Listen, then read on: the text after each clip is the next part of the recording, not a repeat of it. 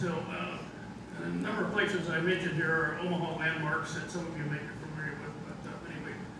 Uh, experience sings to innocence. Go ahead, softies and softettes. Take your unearned thrills at Disneyland, Sissyland, six safety flags over fill in the blank.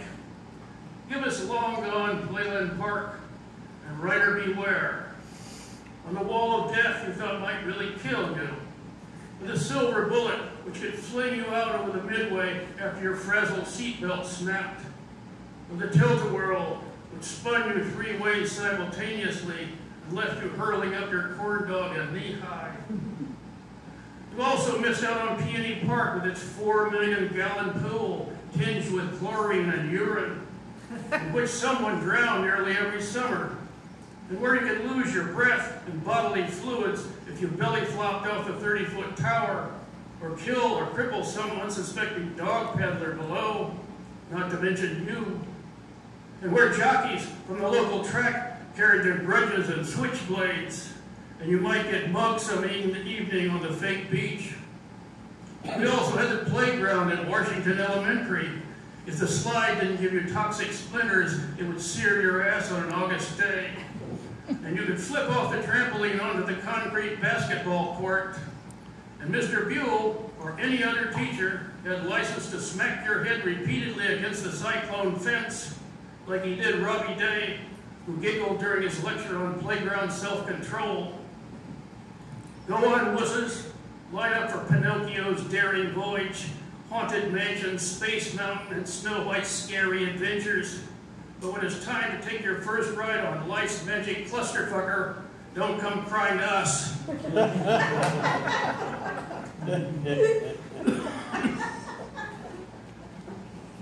uh, my book uh, that's out here for sale, um, mind you, that uh, is uh, based on uh, my version of the fool archetype, which has been in existence uh, from the time the first story was told in the first cave, and, uh, all around us today. There are fools everywhere.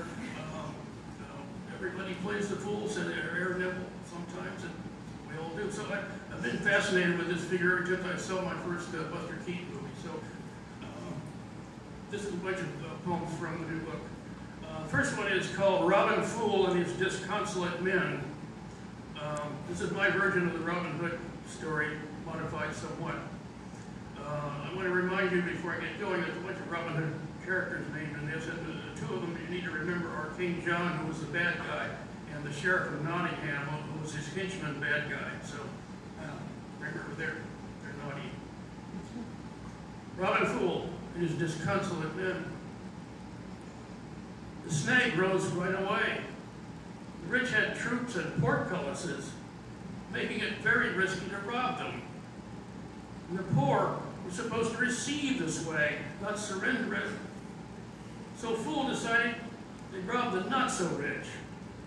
However, rob them enough and they become poor. Give enough to the poor and after a while, they become the rich. The dispiriting treadmill.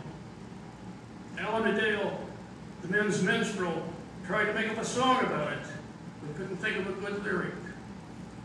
Little John grew morose, and Friar Tuck doubled his windy prayers. Fool suggested they get into forest crafts, whittled whistles and bowls, leaf pillows, boar tusk pipes, rabbit's feet, bowls and pillows, bowls and pillows, sang Ellen the Dale, then faltered. Fool suggested they could use a catchy slogan. Stop here or we kill you, offered Little John. They considered, don't settle for that crappy town stuff when you can buy from the merry men. Too long, muttered Will Scarlet. And not all of us are men, chimed in Maid Marian. How about, you want to buy this? Will suggested. Well, no one saluted when they ran it up the flagpole the progeny of King John and his pal, the Sheriff of Nottingham, later weaponized the concept, deploying the first ad agency, which allowed them to rob pretty much everybody.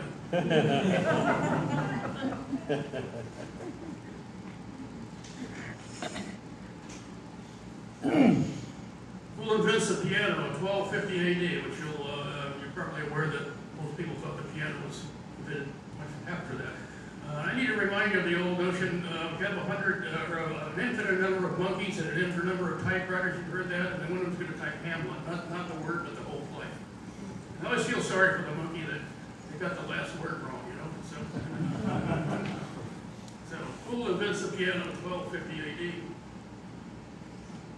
Like the monkey that accidentally typed Hamlet, Fool, tinkering in his workshop, constructed an exact likeness of a Steinway concert grand, which he called the making sounds with little hammers on wires machine.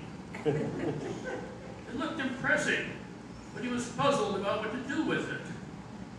It was too big and complicated to be a doorstop, and too heavy and lopsided to be a wheelbarrow. So he tried using it to scare rats out of the hayloft. But the rats weren't impressed, he sprained his back winching it up. Fool pushed on the levers to make high sounds and low ones, wondering why he made some levers black. Neighbors, hearing eerie noises from his house, suspected Fool of conjuring evil spirits to cast spells on them.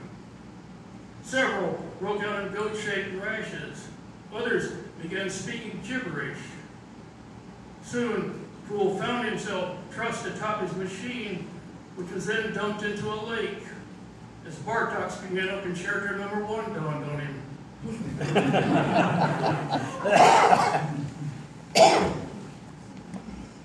There's a biblical one. Fool undertakes a holy mission. Because Moses is busy chasing down rumors of a golden calf, he orders Fool up Mount Sinai to find the burning bush and report straight from the horse's mouth what God's latest tantrum is all about. Arriving topside, Fool finds nothing but a field of shrubs. Baffled, he lights one on fire and hopes it will attract God, like chicken innards do those big catfish. After the fire goes out, uneventfully, Searching the ground for clues. All he finds is a pile of white and fox feces, which, when he inspects it closely, resembles a grandpa sporting a snow-white beard, a lot like God's. Fool, cradling his find back down the mountain, discovers Moses glumly watching a golden calf orgy. So you thought they'd fall down and worship this pile of shit in place of getting smashed, dancing, and fucking their brains out, Moses demands? Fool explains that the shits are parts irrelevant. The pile's an icon, revealing God's purity and goodness. Take a closer look, he says. Disgusted, Moses couples up a set of rules he hopes will end the debauchery, chisel them on a couple of flat stones, and declares God sent them. Drowned out, migraine throbbing, he retires to take a nap.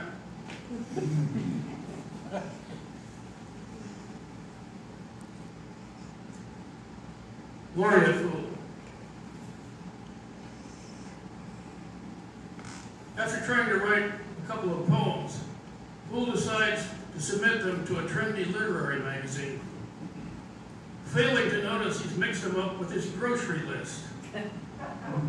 Orange Nehi, Captain Crunch, Velveeta, SpaghettiOs, Hamburger Helper, Moon Pies.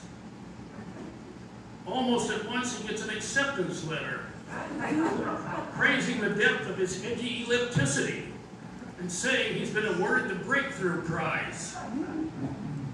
The next issue contains an analysis of the poem, lauding its plunge beneath the rational world and into the vortex of chaotic indeterminacy, the tintinnabular cacophony of sound, and the absolute abdication of sense. All of that done with what first seems an everyday catalog, but which blooms into a vehicle for a profound ontology. Fool, always eager to please, assembles a book-length grocery list, which requires considerable repetition. Raves echo throughout the world of the avant-garde poetics, especially for the repetition, which is said to launch a new poetic style, or, to the initiated, any style. Harton, who composes an epic consisting of the letter F repeated for 900 lines. When he's run over by a fire truck, he dies and his lines will live on in the hearts of poetry's dozen or so readers. We'll